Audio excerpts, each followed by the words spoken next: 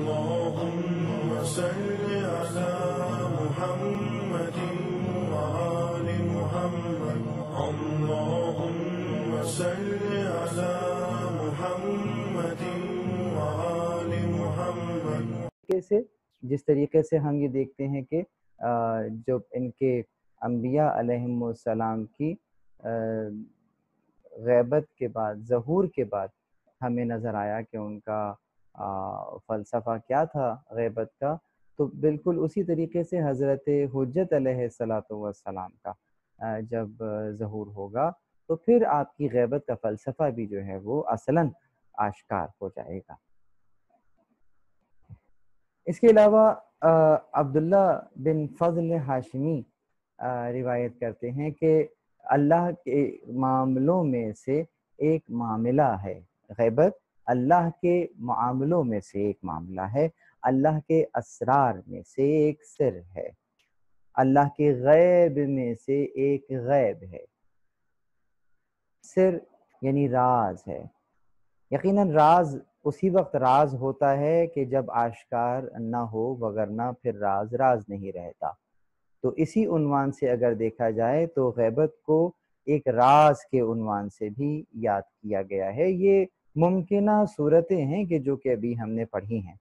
किताबुल गैबा के अंदर भी ये पढ़ी जा सकती हैं और साथ ही अगर आप कमाल दीन व तमाम नमा के जो कि शेख सदूक रहमा की काविश है, उसमें भी आप इस उन्वान को पढ़ सकते हैं। और साथ ही जिन अम्बिया के नाम मैंने आपको हिस्सा अव्वल में बयान किए थे, उन तमाम अम्बिया की गैबतों के बारे में आप उस किताब में भी पढ़ सकते हैं। फिर इमाम गैबत के फ़लसफ़े के उन्वान से बयान करते हैं कि जब आप ज़हूर फरमाएँगे तो आपकी गर्दन पर किसी की बैत नहीं होगी। ये जुमला ज़रा बहुत नाजुक है। आप लोग परेशान हो जाएँगे कि क्या मतलब दूसरे आइम्मा के ऊपर क्या बैत होती थी? नहीं, देखें, जिस उन्वान से इमाम, क्योंकि हमें उस रिवायत का सियाक और सबाक और तमाम अशिया को देखकर फिर हमें किसी नतीजे तक पहुँचना होता है। तो इमाम यहाँ ये बयान कर रहे हैं कि यकीनन चाहे कैसे भी हालात हों, कोई भी हाकिम हो, यकीनन अगर आइम्मा की ज़िंदगियों पर नज़र डाली जाए तो हुकूमत वक्त ने कभी भी नहीं चाहा कि इमाम अलैहिस्सलाम अपनी जो तबलीग है और अपना जो कारहाय इमामत है, वो उस अंदाज से अदा करें। लोगों से उनका ताल्लुक जो है वो उस अंदाज से कायम हो कि जिस तरीके से एक रहबर का ताल्लुक होता है तो हुकूमत वक्त ने कभी भी ये नहीं चाहा। इसीलिए अलैहिस्सलाम को कैद बंद की सऊबतों को बर्दाश्त करना पड़ा अलैहिस्सलाम को खून देना पड़ा अ, उनको कत्ल किया गया। तो बिल्कुल उसी तरीके से हमें देखा कि हुकूमत वक्त के अ, जो मजालिम थे और जो उसके इकदाम थे आयमा अलैहिस्सलाम बहरहाल उनको नज़र में रखते हुए अपनी एक्टिविटीज़ को जारी रखते थे बहरहाल। तो खुलकर बरमला जो है मुसलहाना कोई कदम जो है वो नहीं उठाया गया और मुआशरा साजी ही के ऊपर जो है वो तवज्जो अ, दी गई जो कि उस दौर में ज़रूरी भी था।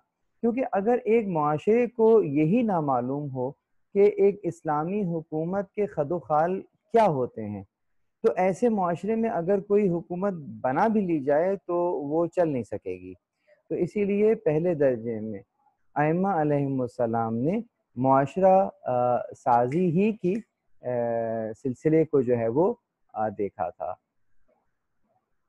इमाम जाफ़र सादिक अलैहिस्सलाम ही से ये रिवायत कमाल दीन व तमाम नमा के अंदर मौजूद है। उसके बाद इमाम ने फरमाया कि अली मेरे बाद मेरी उम्मत के इमाम हैं। यनाबियल मवद्दत में इब्ने अब्बास से रिवायत की गई है। इबन अब्बास ने ये रिवायत की जिसको शेख सलमान कंदोजी बल्खी कुस्तुनतुनिया के मुफ्ती आज़म थे जिन्होंने अपने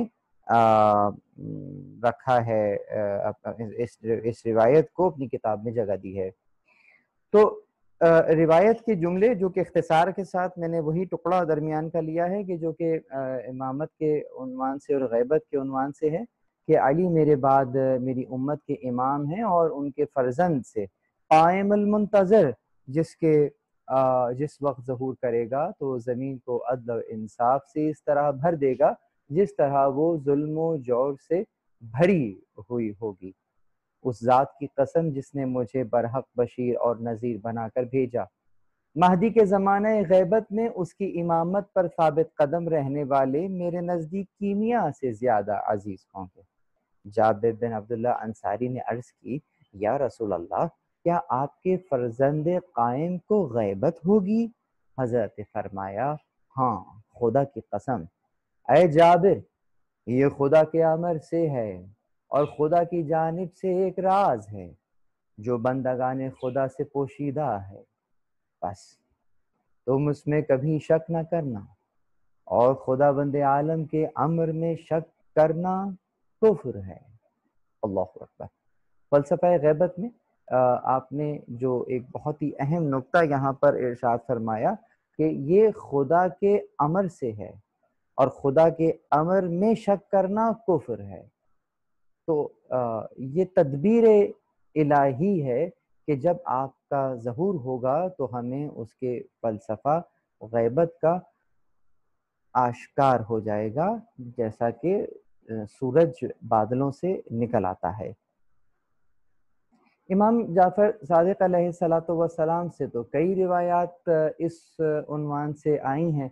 आप हज़रत फरमाते हैं कि हमारे कायम के लिए क़याम से पहले गैबत है। ये गुफ्तु आप अपने एक बहुत होनहार शागिर ज़ुरारा बिन आयुन से फरमा रहे हैं। तो ज़ुरारा ने पूछा, वो क्यों? हज़रत ने फरमाया दुश्मनों के खौफ से। फिर आपने अपने दुश्मनों के खौफ से। बस बहुत, देखिए, मुख्तसर जुमला इमाम ने इरशाद फरमाया तो गोया, हमें नज़र ऐसा आता है कि आसपास जवासीस मौजूद हैं, यानी कि जासूस मौजूद हैं कि जो कि इमाम के और आपके शागिर्दों के दरमियान मकालमों को न सिर्फ़ ये कि सुन रहे हैं बल्कि उन्हें हाकिम हुकूमत के कारिंदों तक जो है वो पहुँचा भी रहे हैं। तो आपने फरमाया कि यकीनन दुश्मनों के खौफ से नहीं कि जो जालिम और जाबिर हुक्मरान हैं उनसे आ, उनके सामने आए बगैर वो अपने पर इमामत के फरीज़े को जो है वो अंजाम दे रहे हैं। उसके बाद आप फरमाते हैं कि आए ज़ुरारा वो मुंतज़र है वो मुंतज़र है। लोग उसकी विलादत में शक करेंगे। अल्लाह गैबत के ज़रिए अपने शीयों का इम्तिहान लेगा। जुरारा ने कहा, मैं कौन सा अमल अंजाम दिया करूँ? तो हज़रत ने फरमाया, जुरारा, तुम ये दुआ पढ़ लिया करो। और वो दुआ कहा, अल्लाहुम्मा आरिफनी नफ्सक फ़ैन का इल्लम तो आरिफनी नफ्सक लम्मा आरिफ नबीक अल्लाहुम्मा अर्रिफनी रसूलक फ़इन्नका इन लम तुअर्रिफनी रसूलक लम अअरिफ हुज्जतक अल्लाहुम्मा अर्रिफनी हुज्जतक फ़इन्नका इन लम तुअर्रिफनी हुज्जतक ज़ललतु अन दीनी ऐ अल्लाह मुझे अपनी मारिफत इनायत फरमा अगर बस इन का इन तो आरिफ नफसक। बस, अगर तूने मुझे अपनी मारिफत नहीं अनायत की तो मैं तेरे नबी की मारिफत नहीं हासिल कर सकूँगा। अल्लाह, मुझे अपने रसूल की मारिफत इनायत फरमा कि अगर मैं तेरे रसूल की मारिफत नहीं ले सकूँगा तो मैं तेरी हुज्जत को कैसे पहचानूँगा? अल्लाह, मुझे अपनी हुज्जत की मारिफत इनायत फरमा क्योंकि अगर मैं तेरी हुज्जत की मारिफत नहीं रखूँगा तो फिर मैं अपने दीन से भटक जाऊँगा, दलल तो दीन इसके बाद फिर आप दुआ गरीक की भी तिलावत करते हैं, या अल्लाह, या रहमान, या रहीम, या मुकल्लिबुलूब सब्बित कल्बी अला दीन तो ये वो रिवायत है जिसके अंदर जुरारा से आपने ना सिर्फ़ उस ज़माने का बयान किया, बल्कि उस ज़माने में ईमान की मुहाफ़त किस अंदाज से करनी है, वो दुआ भी तालीम फरमाई। गैबत ज़रूरी है जिसमें हर बातिल परस्त को शक होगा। ये इमाम सलाम मज़ीद फिर फरमा रहे हैं जुरारा से। उसकी वजह हमें बयान करने की इजाज़त नहीं है। इमाम फरमा रहे हैं कि इसकी जो वजह है, हमें बयान करने की इजाज़त नहीं है। यानी हम जानते हैं, हमें इसे बयान करने की इजाज़त नहीं है। गैबत में फिर फरमाया कि वही हिकमत है जो बाकी अम्बिया अलैहिस्सलाम की गैबत में थी। यानी इमाम सलाम ने अलैहिस्सलाम की गैबत के साथ अम्बिया अलैहिस्सलाम की गैबत की तरफ़ भी इशारा फरमाया कि देखो, वही हमत है कि जो कि अम्बिया अलैहिस्सलाम की गैबतों में हमत थी वो हिकमत उन अम्बिया के जहूर के बाद मुनकशफ हुई। तो बिल्कुल उसी तरीके से हज़रत हजत की जो गैबत की हिकमत है, वो भी आपके जहूर के बाद मुनकशफ होगी। अब सवाल यहाँ ये पैदा होता है कि जो इस गैबत पर एतराज़ात किए जाते हैं वो किस तरह के एतराज़ात हुआ करते हैं और उसके मुमकिन जवाब क्या है? आइए ज़रा उसकी तरफ़ नज़र डालते हैं। जिस तरह से मुझसे सवाल भी किया गया कि ये जो दुआ मैंने आपको भी बताई, ये दुआ नमाज़ के कनूत में पढ़ सकते हैं? देखिए, कनूत में आप कोई भी दुआ पढ़ सकते हैं। यहाँ तक कि कनूत में आप उर्दू में दुआ भी पढ़ सकते हैं। और यकीनन ये दुआ हर वाजिब नमाज़ में अगर पढ़ी जाएगी तो यकीनन आपका इमाम ज़मान से ताल्लुक़ मज़ीद गहरा होगा। और क्या ही बात है कि इसके बाद दुआ गरीक से इस दुआ के अख्ताम को उससे किया जाए कि जिस, जो कि ज़माना गैबत में साबित कदमी की दुआ है। इसके अलावा अच्छा ना सिर्फ़ कनूत में, बल्कि जहाँ जहाँ भी मुख्तलिफ़ अजकार पढ़े जाते हैं, जहाँ इजाज़त है वहाँ वहाँ पर आप कोई भी ज़िक्र कर सकते हैं। आइए अब उन एतराज़ात के ऊपर नज़र डालते हैं कि जो कि ज़माना गैबत में, और गैबत के उनवान से किए जाते हैं।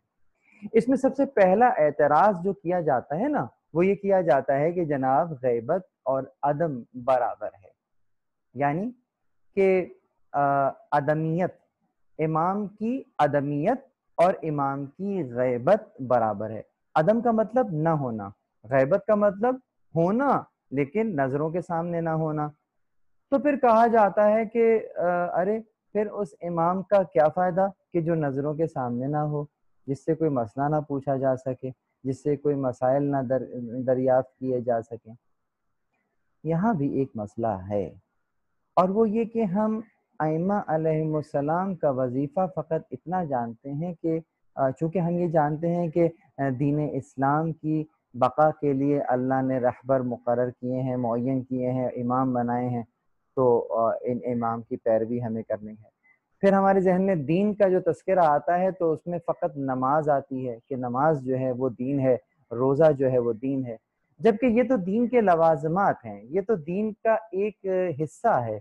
यानी यूँ कहिए कि दीन का इबादी पहलू है, लेकिन जो दीन का मुआशी पहलू है, जो दीन का इकतसादी पहलू है, जो दीन का सियासी पहलू है, उन तमाम पहलुओं से सरफ नज़र करके हम फ़कत मुसल्ला तस्बी सजदेगा और टोपी को दीन समझते हैं।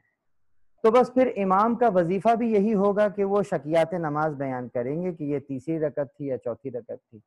वो मुझे वज़ू का और तहारत का तरीका बताएँगे, बस इमाम का ताल्लुक इतना ही रहेगा। जब इमाम की ही तस्वीर इस अंदाज की हमारे जहनों में है तो फिर उनके नायबीन की तस्वीर क्या होगी? अल्लाह तो फिर वापस आइए। इमाम का यकीनन जिम्मेदारियों में से एक ज़िम्मेदारी है कि माशरे की तरबियत जो है वो करें तो उसके अंदर यकीनन हलाल और हराम का बयान है। कवानीन को पहुँचाना है, उनकी शरह है और उनकी तदबीक है। उनको मुख्तलिफ़ मामला पर मुंतबक करना है।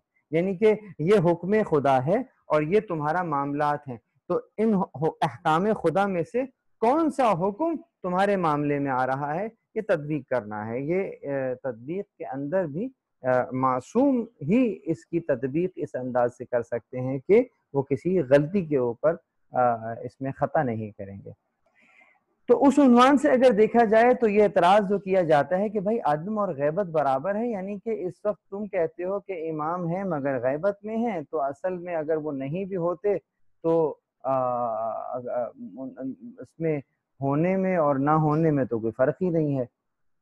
तो जी नहीं, ऐसा नहीं है। अदम और गैबत बराबर नहीं है। अदम किसी शय के इनकार है लेकिन गैबत उसके वजूद का इकरार है, लेकिन जहूर का से ज़ाहिर नहीं है।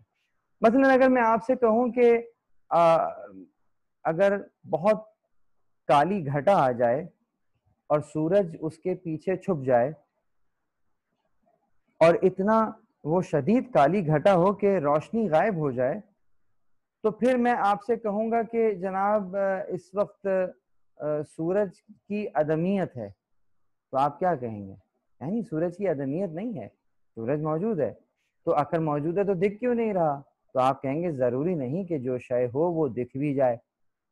ज़रूरी नहीं कि सिर्फ़ वही शय हकीकत हो जिसे आँखों से देखा जाए। बहुत सी हकीकतें ऐसी हैं कि जिसको बसीरत से देखा जाता है और वो दिखाई देने लायक शय नहीं होती। सूरज तो फिर भी बादलों के पीछे छुपा है, बादल हटेंगे, सूरज दिख जाएगा।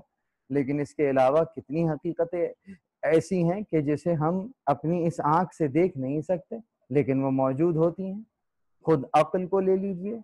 अक्ल कहाँ होती है? अक्ल नज़र आती है। अगर हमें जिसम में किसी हिस्से में दर्द हो रहा है तो क्या वो दर्द दिखाई देता है? तो अगर दर्द दिखाई नहीं दे रहा तो उसके वजूद से इनकार कर दीजिए। नहीं? दर्द महसूस किया जाता है, यकीनन दिखाई नहीं देता, लेकिन होता है। बहुत सी हकीकतें हैं, खुद फरिश्ते के बारे में क्या ख्याल है? यकीनन दिखाई नहीं देता, लेकिन होता है। तो बहुत सारी हकीकतें हैं कि जो कि दिखाई नहीं देती, मगर होती हैं।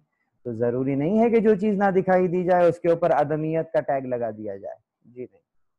दूसरा एतराज़ तोले उम्र का किया जाता है।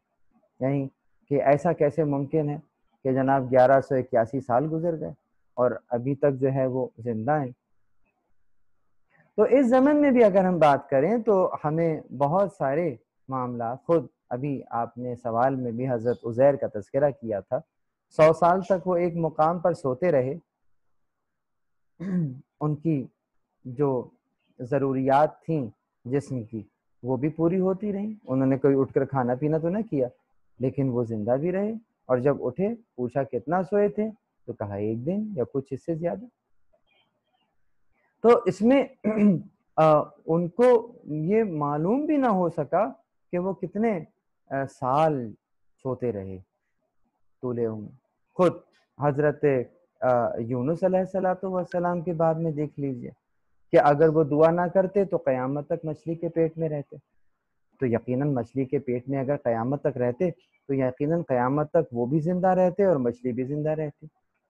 फिर उसके अलावा हमने सदर इस्लाम में देखा और यानी कि जो किस्से कुरान में मौजूद हैं, खुद असहाब कहफ का किस्सा मौजूद है।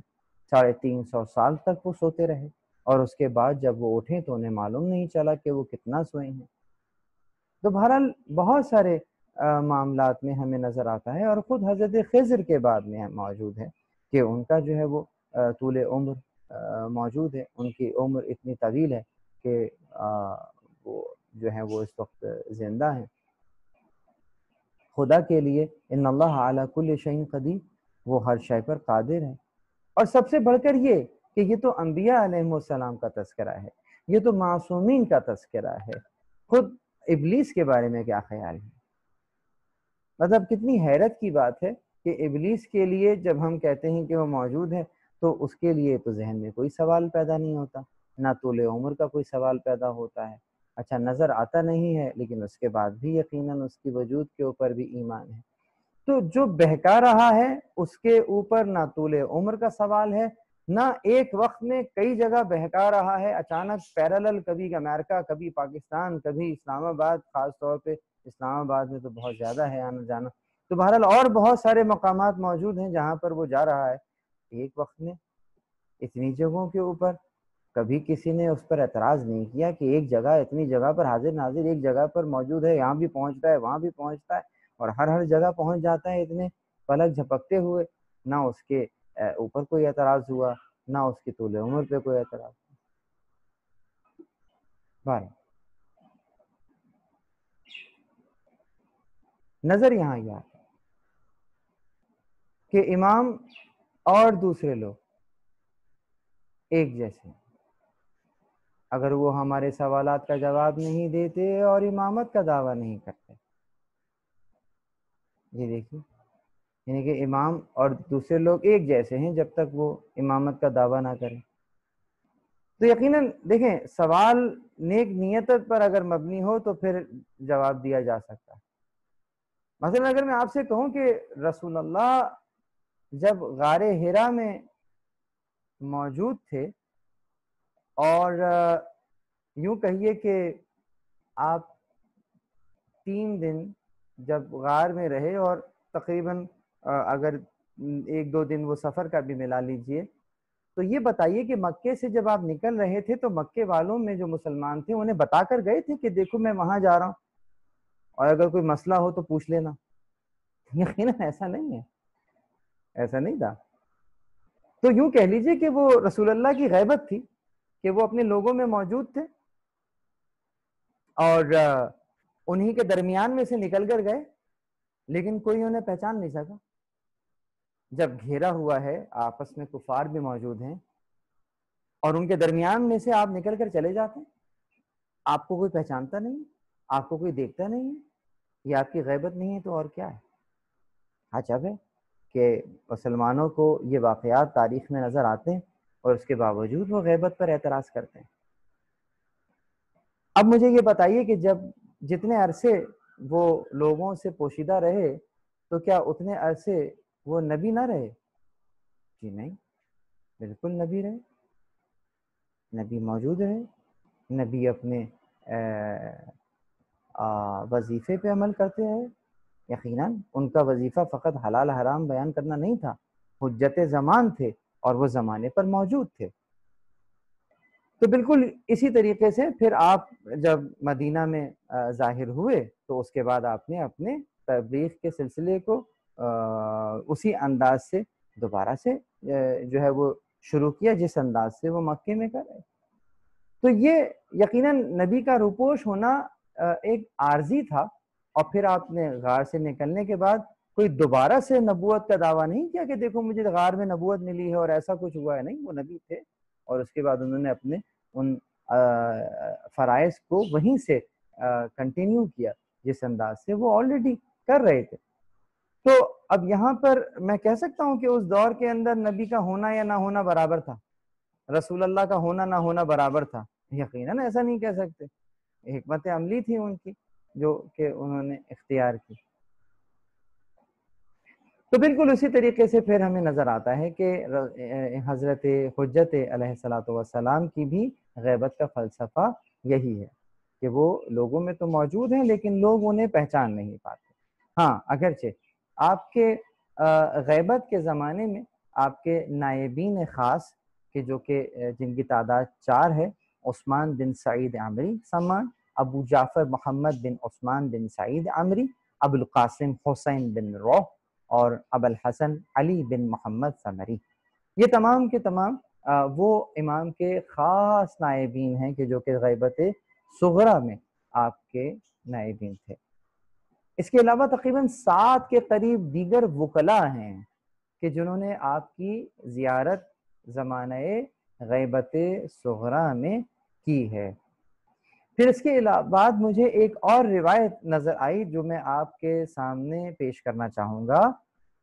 ये आपके सामने वो नाम है जिसको अठारह के अंदर सैयद अली साहब ने एक किताब के अंदर इन नामों को लिखा है कि जो कि 45 के करीब 50 के करीब नाम है कि जिनको जिन्होंने ज़माने गैबत में आपकी ज़ियारत की है।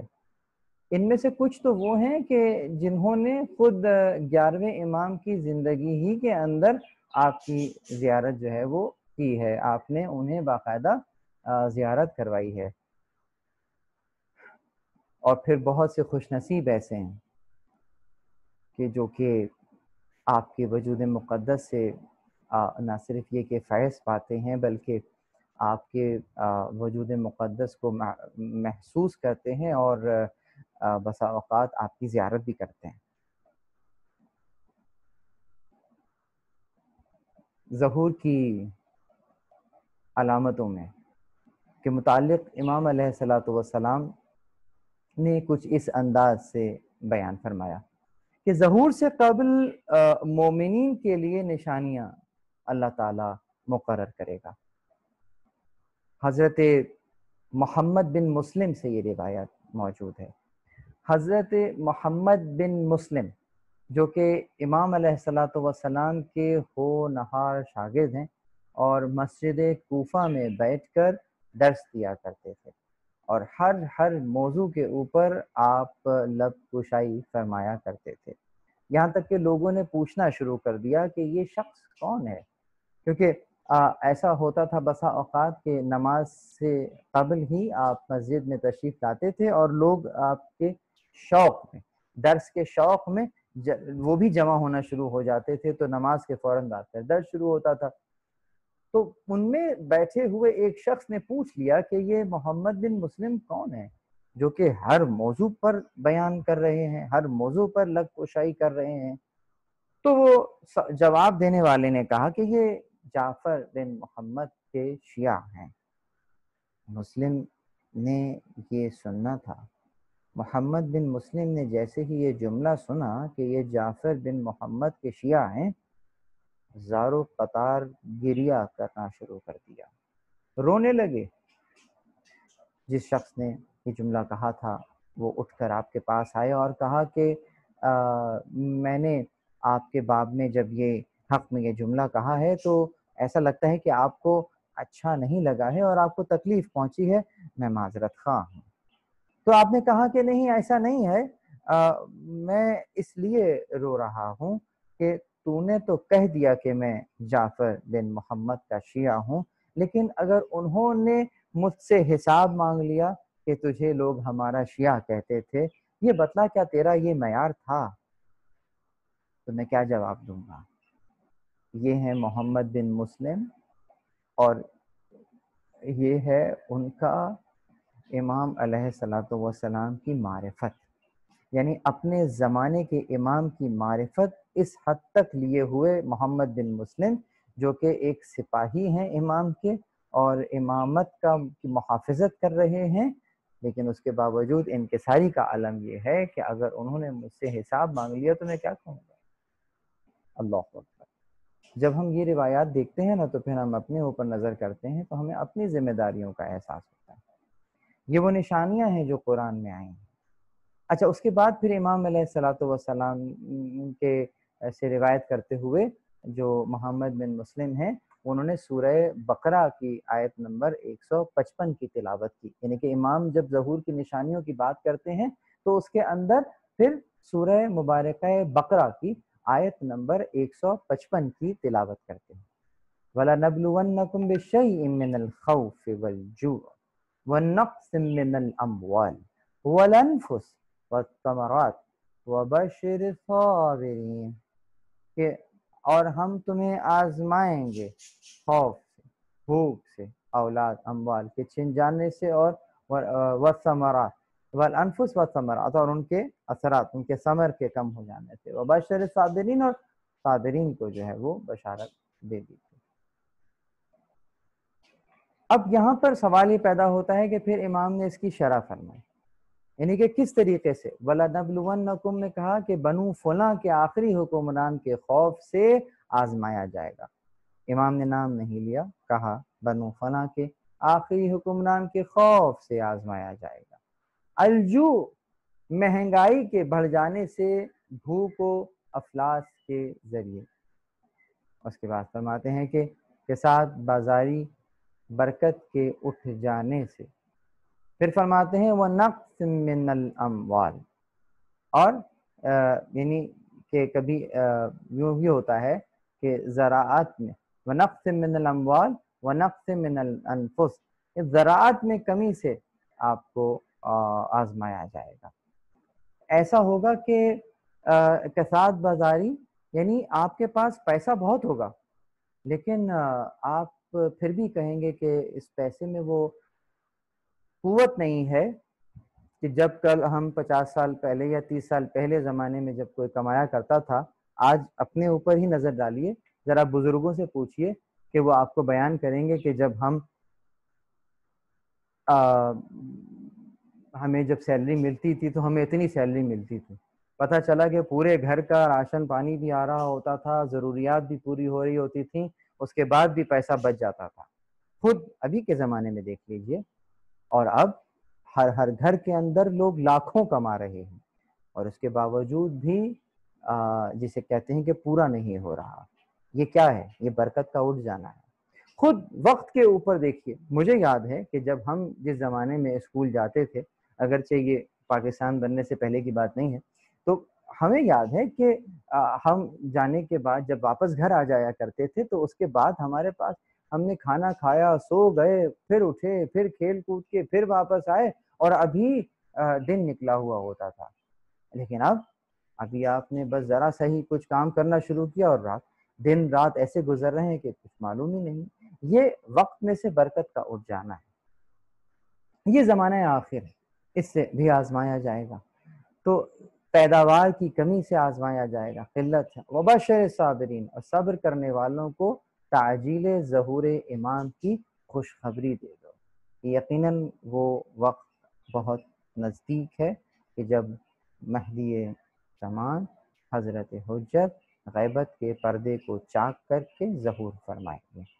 परवरदिगार से दुआ है कि हमें उनके आवान और अंसार में से करार दे। बस एक जुमला कहकर मैं आ, इस गुफ्तु को यहाँ पर रोकूँगा और वो ये कि आलम बेदारी में। बहुत तवज्जो रहे। आलम बेदारी में एहसास ज़िम्मेदारी के साथ ज़िंदगी गुजारना। दर हकीकत नफ्स पर जहूर महदवियत है। अपने नफ्स के ऊपर महदवियत का जहूर करना आपके हाथ में है। और जिस वक्त आपने ये काम अंजाम दे दिया तो फिर ये जो आलम असगर है इसमें जहूर में देर नहीं है असी पहला कदम आपने उठाना है और उसके बाद यकीन कीजिए कि अगर इस वक्त अक्सरियत ये कदम उठा ले और अपने नफ्स पर महदवियत का जहूर खुद अपने हाथ से कर ले तो अतजम अन्ना का जर्मन सगीर। क्या तू ये समझता है कि तू एक मामूली जैसुमा है? वला तो वला तकुन तवा आलम अकबर। तेरे अंदर तो एक आलम अकबर पोशीदा है। तो अगर आलम अकबर पे महदवियत का जहूर आज हो जाए तो अगले ही लम्हे इस आलम असगर पर भी महदवियत का जहूर हो जाए। कोशिश ये करनी चाहिए कि आलम बेदारी आलम बेदारी यानी के मुतवजह रहना। हर हर लहजा, हर हर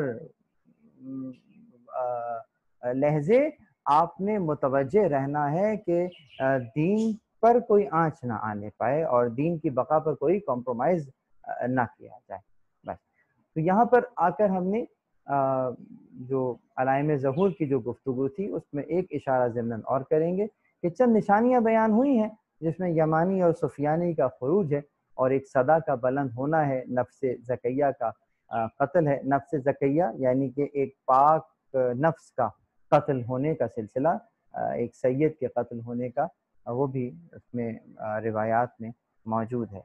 बैदा की ज़मीन का धंस जाना और इस किस्म की दीगर निशानियाँ जो कि मुख्तलिफ़ तुरुक से जो हैं वो हम तक पहुँची हैं। तो परवर दिगार आलम से दुआ है कि हमें आ, इस ज़माने आखिर में आ, अपनी ज़िम्मेदारियों को एहसास करते हुए आलम बेदारी के साथ अपने नफ्स पर महदवियत के ज़हूर की तोफ़ी इनायत फरमाए। परवरदिगार आलम से दुआ है कि हज़रत हजत का जल ज़हूर फरमा और हमें उनके आवान और अनसार में से करार दे। तस्वुर महदवियत का ये दूसरा हिस्सा था जो कि इस मंजिल पर आकर अपने अख्ताम को पहुँचता है। आ, अब मेरे पास एक मिनट मौजूद है इस हिस्से का। अगर कोई सवाल इस हिस्से से मुतालिक है तो वो अभी कर लीजिए।